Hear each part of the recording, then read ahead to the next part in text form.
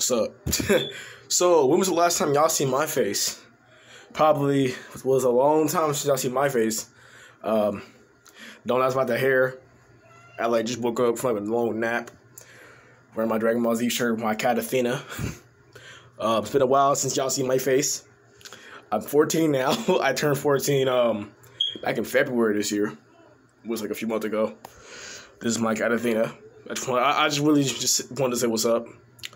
Athena want to say hi too, don't you, Athena? Say hi, Athena. Yeah. So um yeah. Also, if you're wondering why some of her fur is gone, she got spayed. I guess I guess when they they spayed her, they, had to like shave out some of her fur. So, but um yeah, I just want to say what's up to y'all, and uh I do animation now too, as you've been seeing. So yeah, um, what's up? so that's all I gotta say. All right, bye.